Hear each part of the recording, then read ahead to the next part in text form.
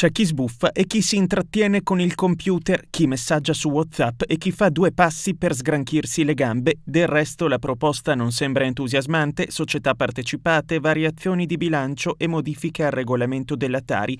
Argomenti noiosi verrebbe forse da dire a chiunque, eppure si tratta di punti importanti nella vita amministrativa di Palazzo Mercanti. Succede dunque che nel lungo consiglio comunale di ieri l'altro, una seduta a fiume iniziata alle 15 e conclusa a mezzanotte, alcuni eletti piacentini si lasciano andare a parentesi di stanchezza e leggerezza. Balza all'occhio, ad esempio, Filiberto Puzzu dei Liberali, subentrato dopo la morte di Corrado Sforzafogliani, a un certo punto, per qualche minuto, il consigliere di minoranza minoranza afferra il tablet, naviga su internet, trova finalmente il sito desiderato, ruota lo schermo in orizzontale per una migliore visualizzazione e guarda le azioni calcistiche della giornata di Serie B con una particolare attenzione alle sorti di Spal Pisa.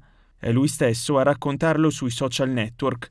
La seduta è stata complessivamente noiosa, si legge in un post Facebook di Puzzu, medico di famiglia, con molti interventi che replicavano cose già dette. Ho smorzato la noia, sempre con un orecchio a quanto accadeva, grazie al mio tablet personale, navigando qua e là. Una questione di forma, al di là della discussione politica, è anche quella sollevata da Sara Soresi di Fratelli d'Italia nel corso del Consiglio Comunale di ieri l'altro. Io vorrei richiamare un attimo anche insomma, far luce un attimo anche sull'atteggiamento del sindaco. Francamente mi sembra sempre un po' poco istituzionale. L'alzata degli occhi al cielo, le parolacce le ho sentite le abbiamo sentite tutti prima. Pronta la replica di Tarasconi interpellata all'indomani del Consiglio dalla nostra redazione. Non è vero, ascolto tutti per ore, dice il sindaco. Durante le sedute la giunta è sempre al completo. Lunedì l'opposizione ha fatto tutto da sola, dando un brutto esempio di politica, sostiene Tarasconi, per poi concludere che dopo un lungo dibattito sul nulla è inevitabile lasciarsi andare. Siamo tutti esseri umani, rimarca Tarasconi, ma il mio rispetto è indiscutibile.